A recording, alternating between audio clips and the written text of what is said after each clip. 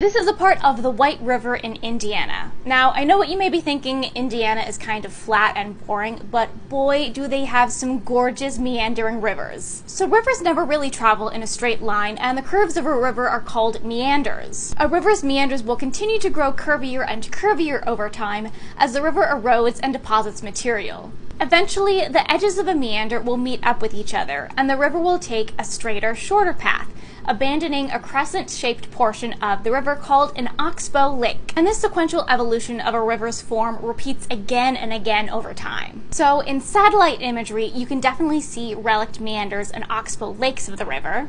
But if we use LiDAR to look at the bare Earth's surface, we can see all the cool, ghostly vestiges of the river's path. Everything here that's shown in light blue and white is part of the river's floodplain, which is where the river will move back and forth across time, and also the area that can flood. So the river is constantly changing its meandering shape and form, and it leaves behind these ghostly imprints of its former paths on the landscape. So if anybody says Indiana isn't interesting, its ghostly river meanders may come to haunt you.